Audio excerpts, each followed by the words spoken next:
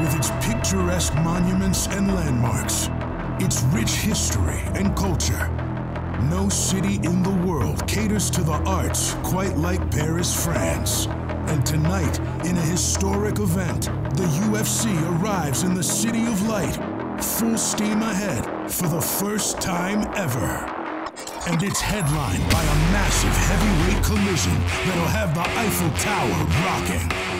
Featuring two of the hardest hitting martial artists alive. A French-born former champion whose day has come to be the hammer once again in front of his countrymen and make history along the banks of the Seine by doing what Bon Gamin does best.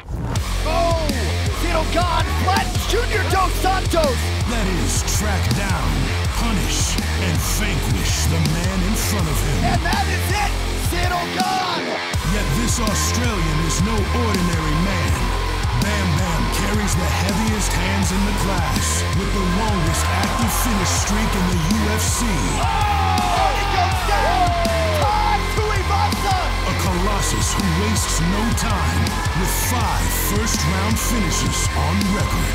This man is coming to punch his ticket to the top and to taste sweet victory any way it's served. Plus, a former middleweight champion makes his return as the Reaper is once again stalking the old proving grounds, ready to make another push towards a title with the kind of pressure that makes people break.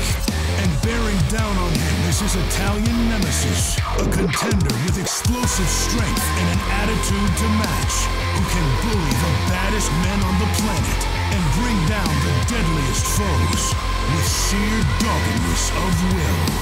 The sidewalks of Paris are rumbling to the footfall of heavyweights, and something's gotta give.